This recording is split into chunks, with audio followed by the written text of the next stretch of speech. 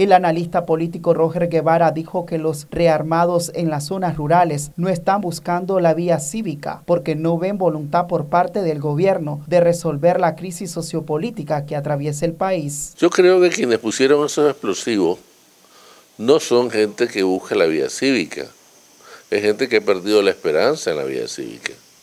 Y por supuesto, si hay muchísima gente que, que, está perdiendo la esperanza en la vía cívica, significa que hay movimientos armados.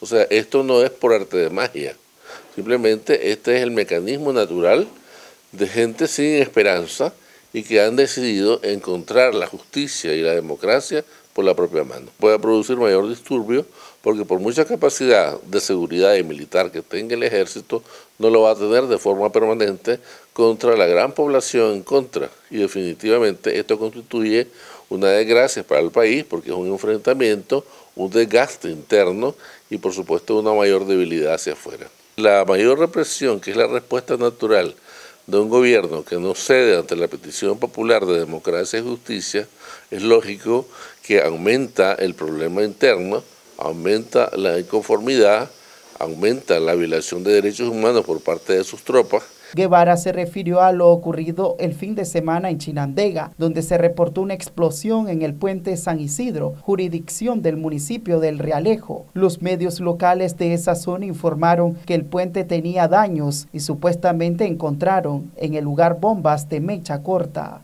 Como no existen canales de, de participación como no existen oportunidades de manifestación, como no existe una irrestricta libertad de prensa, como no existe el deseo del gobierno de tolerar todos aquellos aspectos que reflejan la vida democrática e institucional, pues eh, estamos llegando a un momento en el cual se inicia un proceso donde las personas exigen justicia, exigen democracia y al no encontrarle las instituciones ni la comunidad internacional, han decidido hacerla por su propia mano.